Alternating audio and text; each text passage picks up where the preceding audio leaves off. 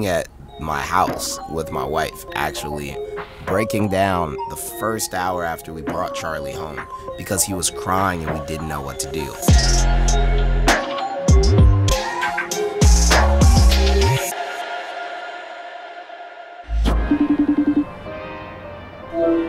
Hey, what up? Yo. All right, man. I'm on my way to interview Taylor Bennett for Rap Dads.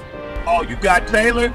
Yes, sir. Ah, that's family. That's family. His whole family, Chance, Taylor, his father, Ken, the, the excellent dad. So I'm excited for this. This show is very important to the culture, to get to the community. So I'm excited, man. Awesome. All right. I wanted to check in before I hit out. All right, man. Great job, man. Rap Dads, baby. Let's get it. Let's get it. You see my view. Woo! I it. Taylor Bennett. What up? Welcome to Rap Dads, man. I'm here. You're here, bro. A dad that raps. This is just this ain't even Rap Dads. This is me being a fan right now. I'm rocking with you. I also don't feel like you guys get enough credit for what you've done for independent Appreciate artists. that, man. And I was so concerned that somebody somewhere was going to be like, "Stop these little Stop black these boys." little dudes. Yeah, I'm rocking with you. And I'm so very right. proud and I'm so happy that that has not happened and that you guys have been embraced Yeah. and uh, completely changing the game. Taylor Bennett and his brother Chance the Rapper changed the game in many ways for independent artists. One of the biggest being convincing the Grammy Academy to count a certain amount of streams as equal to an album sold, which then qualified independent albums for Grammy consideration. This is what led to Chance the Rapper's coloring book album winning three Grammys. So you have three kids, correct? Yeah, I got three boys. Okay. Wow. Me too. Oh wow, that's great. That's Me pretty too. interesting. Yeah. Yeah. So how many years apart are they? Mine's are uh, three. Three. so three, I got Charlie. He's four years old. Blake. He just turned three, and then the youngest Logan, and he's five months. Okay. So yeah, Nice. I'm sure you know as a father of three, it's helpful to have, you know, both of them helping. Oh, Logan for sure. well. That's the cheat code for real. If you're gonna if you're gonna double and triple them For up, sure. we gotta go back. If Yeah. we're gonna talk about fatherhood, we're gonna talk about Right. a rap dad. We gotta talk about your pop. Definitely, yeah. My your dad. pop has been instrumental, obviously, in your career, in your brother's career, Very in much so. Obama's career, in a lot of people's A lot career. of people, yeah. So, A lot um, of people call Ken Bennett. yeah, man. What was your relationship like growing up with, with your dad? I've always been really close to my dad. Uh, when I was really young, like a baby, I used to get sick at night. I don't know why. I think it was like allergies. We had cats and different things and figuring out. But my dad used to always wake up in like the middle of the night and take me to the hospital and stuff like that. Um, and I still have like memories of sitting at like the top of the stairs in the middle of the night and he's like holding me and I'm like looking down these stairs. So yeah, you know, I've, I've, I've had an amazing relationship, uh, with my dad, you know? That's awesome, man. Yeah. So he was super involved in in in your school life, Yeah. but it's also well documented that you've said you weren't that Yeah. great a student. I wasn't. And then no. your brother, his rap career launched with because 10 day. of 10 That's a 10 day. day suspension, right? So what was We've that- both gotten one before. How did he navigate I that? think I don't feel like my dad ever pushed me and was upset at me based off of my grades. I think my dad would be upset and disappointed based on how much I actually pushed Effort. towards yeah the effort um and also me and my brother and my father we all had learning disabilities and me and my brother actually had IEPs which is like individual educational plans Okay. so it was more about again the discipline and the dedication and the pride that you had within your work that Right. you would be upset at. But if you try hard and you got that D, we'd go to Toys R Us sometimes. Like I had some times where I, you know, really pushed and fought and like my dad would try to do homework with me and he didn't know how to do it. Like I remember that, you know, um, and those different days and stuff like sitting on weekends in the kitchen. It wasn't super often because I feel like again, chores were more important than homework to my dad. Not saying that homework wasn't, but like the first thing that he would think is like, how is the upkeep of your house? Like Right. how is, you know, and then also like I think like manners, like how you speak and Right. like those kind of things. School was everybody does school. Like you better be doing something in there. Right, You right. know? like yeah. Please welcome my good friend Esteban Serrano is here, man. Esteban! And I'm really proud of him for his new book, The 10 Dad Commandments Fatherhood Through the Lens of Hip Hop. Let's go over some of the commandments. Ooh, let's do it. Commandment number one know your role. Know your role. What is a father? You cannot fulfill a role that hasn't been defined. Right. Okay. So if you don't know what those responsibilities are, what those tasks that you need to be uh, over are, how you going to do a great job? Commandment All number right. two watch the company you keep. Fatherhood, especially for me, was a great excuse to evaluate my company and see who was adding value and who wasn't adding value. But also, who do I want to have access to my sons? Yeah. Like, Uh, commandment number three is protect. the big part of that chapter for me is teaching my sons how to protect their peace. That's paramount. This is the big question. Ooh, How has fatherhood changed you as a person? yeah. I think fatherhood has changed me as a person probably more than a lot of people, yo. Like for real. Like, and I really mean that. Like, uh, when I had my first son, I stopped eating red meat. I stopped eating pork. I literally like dedicated my at least 30% of my time to just working out, just all the time. Um, and this is before he was born. Like when he was born in the hospital, me and my best friend that started our workout fitness journey together were doing push ups in the hospital. I always felt like, again, for me, so funny, but it, it really does come from my dad. Everything has had to do with having children for me, like since I was like a very small kid. And it's always felt like whether it was my career or if it was school, everything was like on this ticking clock. And I only had so much time to execute it, like in the way that I wanted to do it so that I could be in this space that I wanted to be. And like, that's how like I view like a lot of projects and like a lot of, so when I found out I was having this kid, it felt like, oh my gosh, all of these things are, need to change drastically mm. super fast. So, I mean, of course, like, you know, you're having a child. So then it's like, you know, you start looking at, people differently, you know? Like you're like, oh my God, these are just all big ass babies walking around being fucking mean right now and doing fucked up shit. Like these are Word. babies, some big ass babies. Or just like, you know, even the idea of like, you know, how you view yourself. Like I was like, okay, now I am a father. And I think that the most important thing I found with my first child was balance. And it was work, it was fitness, and it was family. Mm. And how do you get enough of those things, have enough time, and still be able to give what you give to everyone else?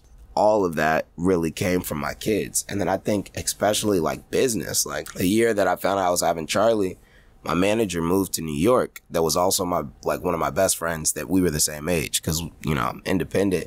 And he moved to New York and he started working at a company.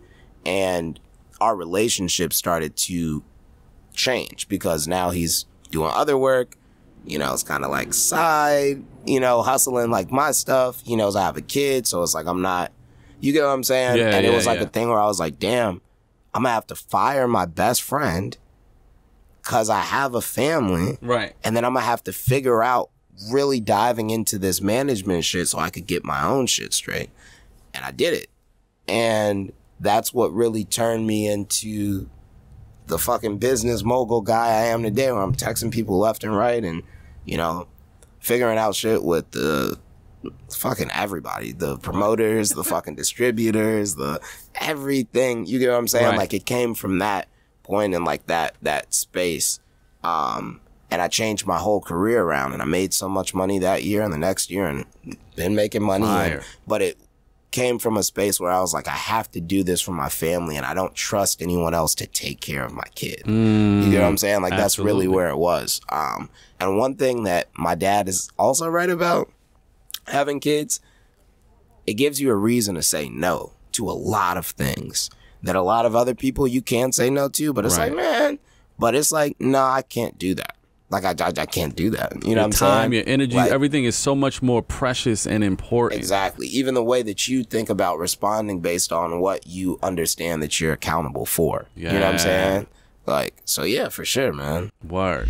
It's time to induct a father into the Rap Dads Hall of Fame. And today's inductee is none other than Chance the Rapper. We all know the pains of natural hair, especially for the babies. So Chance took to Twitter to share his recipe for a natural hair solution that won't hurt your little baby's head. Part water, argan oil, shea butter, and a wide tooth comb. I know the girl dads are going to feel this one.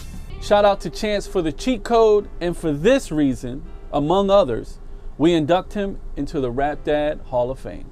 So, what, if anything, have you noticed in your sons that were like flaws of yours that you needed to fix? Yeah. Um. For me, it's laziness. Like I was no, the laziest like dude. determined. Like I don't. You know, my big thing is like I don't know if it's so much of a flaw Mm-hmm. as I will say like my dad always talks about focusing the energy and not breaking it.